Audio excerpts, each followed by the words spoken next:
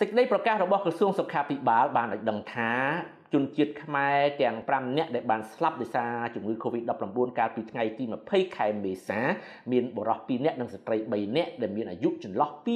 33ឆ្នាំដល់66ឆ្នាំក្នុងនោះ3នាក់ស្លាប់នៅមន្ទីរពេទ្យមិត្តភាពខ្មែរសូវៀតម្នាក់ស្លាប់នៅមន្ទីរពេទ្យលួងម៉ែនិងម្នាក់ទៀតស្លាប់នៅឯមន្ទីរពេទ្យខេត្តព្រះសីហនុ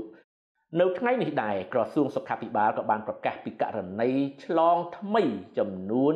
303នាក់ដែលទើបតែរកឃើញកាលពីថ្ងៃម្សិលមិញហើយនឹងករណីជាសះស្បើយមានចំនួនច្រើនប្រិមិត្តជនជនដល់ទៅ239នាក់បាទករណីឆ្លងថ្ងៃនេះឃើញថាមានការថយចុះហើយបើប្រៀបធៀបទៅនឹងម្សិលមិញចំណែកអ្នកជាសះស្បើយវិញក៏កើនឡើងយ៉ាងខ្លាំងណាស់ដែរ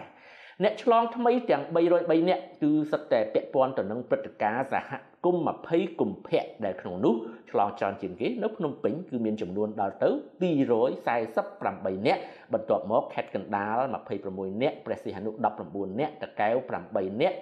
និងកំពត2នាក់គិតត្រឹមថ្ងៃទី21ខែមេសានេះនៅទូទាំងប្រទេសមានអ្នកឆ្លង COVID-19 សរុបកើនដល់7747នាក់ ហើយក្នុងនោះមានអ្នកជាសះស្បើយសរុប2794នាក់អ្នកស្លាប់កើនដល់